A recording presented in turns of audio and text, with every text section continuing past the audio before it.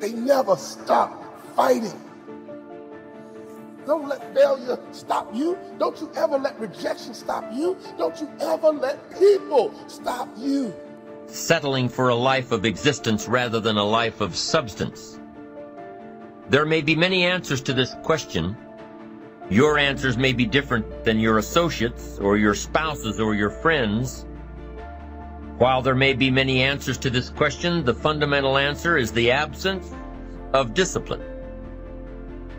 Now, we teach things that are generally not taught in school, as I already have said, but I want to talk about another little factor. 90% of the visits to medical doctors are directly or indirectly related to stress. I am here, ladies and gentlemen, to cheer you on, to let you know that you, you, my friends, are going to get there. You're going to get that promotion you are. Going to complete that marathon, you are. Going to run for your life whatever you are working towards. You are going to get there, but you got to. Get crystal clear what it is you want. What it is that you are seeking for what is you truly want. You must know. You've got to know that you're going to get there. You stop moving forward because they said this and they said that. Let me tell you something about what he said and she said. Haters stopped you? Really? When you get successful, haters are part of the landscape. If you don't have haters, your vision is too small. And then you have the great whites. Oh, then you got the great white shark, baby. They go deep. They love hunting in the deep. They are always going for the throat, and they don't stop until they win. See, when you go to a swimming pool, most people stay in the shallow end, but not great whites, baby. Not great white sharks. They go into the deep end. They love going deep. For you to become a millionaire, you got to go deep. Some of you guys got to read more. Some of you guys got to study more. Some of you got to change your relationship. Why? Because your friends are shallow. Applying all that we know. That's the key word discipline, self discipline. We might add one more word here consistent. Consistent self discipline. It doesn't really matter how smart you are or how much you know if you don't use it. It doesn't really matter that you graduated magna cum laude if you're stuck in a low-paying job. It doesn't really matter if you attended every seminar that comes to town if you don't apply what you've learned. Better than knowledge is applied knowledge. Your family is shallow. If you want to be a great white baby, you got to get some new friends. You got to get some new conversations. You got to get some new material, new information, new access to new people that can take you to a place you've never been. All great white, baby, they go deep. It's time for you to go deep. Whatever you put me in, I'm going to make it out on top. Wherever you drop me off, I'm going to make it. Why? Because I'm a shark. I don't care how many times that you need to try, no one can stop you but you. I don't care who you are. I don't care what you do. If you want to be a sales shark, you got to move different. You might still be in school. You want to be a straight A student? You got to move and operate differently. You're a young aspiring athlete in high school or college trying to make it to the league, trying to make it to the top, you can. And once we've applied our knowledge, we must study the results of that process. Apply our knowledge, study the results. Refine our approach. Finally, by trying and observing and refining and trying again, our knowledge will inevitably produce worthy results, admirable results.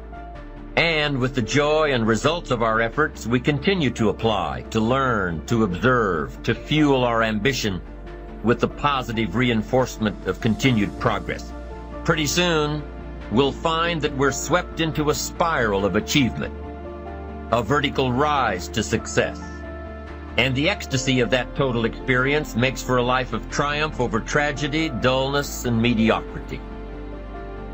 But for this whole process to work for us, we must first master the art of discipline, self-discipline, consistent self-discipline. You were born to be great. Believe it. There's greatness inside of you. So stop worrying about what everybody else is doing and start worrying about what you're going to do in order to get the life that you want. In order for you to live the life that you want, you got to do the things that you don't want. In order for you to live the life of luxury, of health, of wealth, of happiness, you've got to make sacrifices. If it comes easy and fast, it's going to leave the exact same way. You can do much better than what you were doing. 90%. My stress level, and I face as many deadlines as anybody you know. It's always a book production, a class I'm teaching, a seminar I'm presenting, and each one of them uh, requires time and concentration.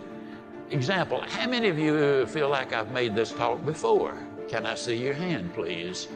Several hundred times. I made it yesterday. You know what I did between yesterday and today? I spent over six hours getting ready for today. You see, I think it would be arrogant if I thought I could stand up and spit it out just because I did it yesterday or hundreds of times. That's arrogance. Get up 30 to 60 minutes earlier if you have to, and make sure you get this done as a priority over everything else in your life. Number one, gratitude. This is more important than anything. I guarantee you, if you do this alone, every day, it will change your life. It will change how you feel about everything in your life. Spend 5 to 15 minutes every morning writing down, at minimum, three things you are extremely grateful for right now in your life. It could be three things that if you were to lose, you'd do anything to get back. It could be to do with your family, your eyesight, the opportunities you have simply by being in this country, even to be thankful for low moments. When you respond to life instead of react to it, react is negative. You get sick, go to the doctor, she gives you a prescription, says, see me tomorrow. You walk in the next day, she said, uh-oh, it's not working. Uh, we have to change the prescription. You get a little nervous. But if she smiled and said, hey, it's working. And so you have just, she's just responded, and you feel better because now you see some real hope in order to get ahead in life. Make friends with people who want the best for you. And that's a meditation on my own childhood and adolescence to some degree. I, I had friends who wanted the best for me and friends who didn't. And, you know, they were friends who some of them were aiming up and some of them were aiming down. And if you have a friend that's aiming down and you do something that's aiming up, then they're generally not that happy about it. You know, they try to top your accomplishment with one of their own hypothetical or real or. If you could trade places with someone right now, the person that you're trading places may have it just a little bit tougher than you have it going on in your life right now. So many people are suffering from so many things in this world at this moment, but yet you're complaining. So many people in this world right now wish they could trade places with you, but yet you're still complaining. You don't have that right to just give up. You don't have that right. That have made you who you are today, made you stronger. Your health, whatever it is, write it down. It is important you write it, not just think it. Write it and feel how grateful you are for those things. One by one. There's no right or wrong way to do this. Write down whatever comes through you naturally. It will be different every day, and that is good. Do this every morning before you start your day. And then be consciously on the lookout throughout the day of things you can write down for tomorrow.